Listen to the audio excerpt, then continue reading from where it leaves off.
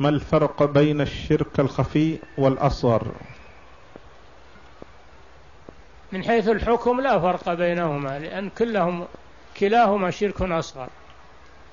الشرك الأصغر مثل الحلف بغير الله مثل قول لولا الله وأنت ما شاء الله وشئت هذا شرك أصغر.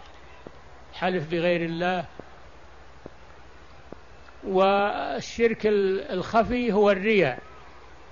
يكون بالقلب. لا يعلمه إلا الله. أما الشرك غير الخفي فهذا يظهر على اللسان ويسمعه الناس ويرونه. فهو شرك أصغر غير خفي لأنه يسمع.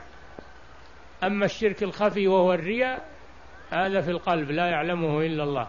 ولذلك سمي الشرك الخفي. نعم.